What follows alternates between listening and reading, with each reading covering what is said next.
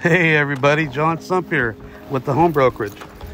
Proudly bringing you another great property. You know, if you're looking for property that is out in the middle of nowhere, away from the city, 10 acres with a horse barn, riding arena, and for God's sakes, a pond. How cool is it to have your own pond? It's got its own dock. You can sing sitting on the dock of the bay at your house. I hope you really enjoy this house. Phenomenal 2,200 square foot place plus all 10 acres. Enjoy the video.